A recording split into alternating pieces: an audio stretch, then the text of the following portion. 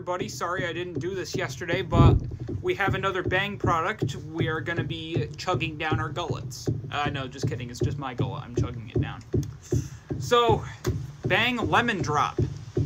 Wonder what Bang's take on lemon soda is like. If, is it basically lemonade with uh, soda influences? I'm going to go with that prediction. And uh, even though it's fall, lemonade is still at the stores. So if you want to have still like at least a bit of a splash of summer, maybe get some lemonade instead of that apple cider. Whatever floats your boat. Anyway, to go with the lemon theme, they chose yellow, fitting, and some orange to complement the yellow.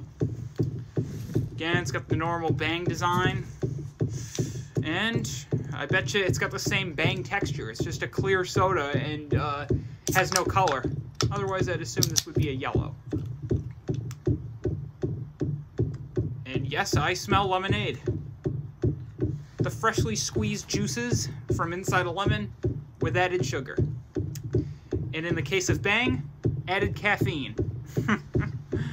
Although it's it's totally okay with me right now that I'm reviewing this at I think this is around 12:30 in the afternoon, and Therefore, it's going to give me the energy I need for the rest of the day, and then it will give me the caffeine crash as I go to bed.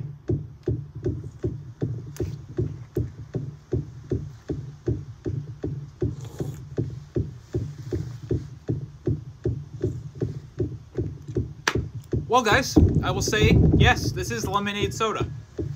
This very much tastes like lemonade. Again, with the hint of soda.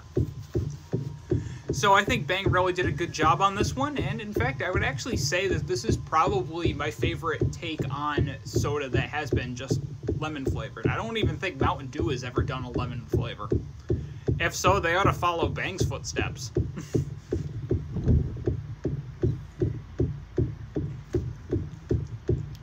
but again, what works here is how refreshing it is and the fact that we get a pretty cool citrusy taste. So with that being said, I am going to give this guy a 5 out of 5. And therefore, yeah, this is another win-win for the Bang Sodas. In fact, maybe I should do a top 10 of them now that I've reviewed so much on the show. Who knows?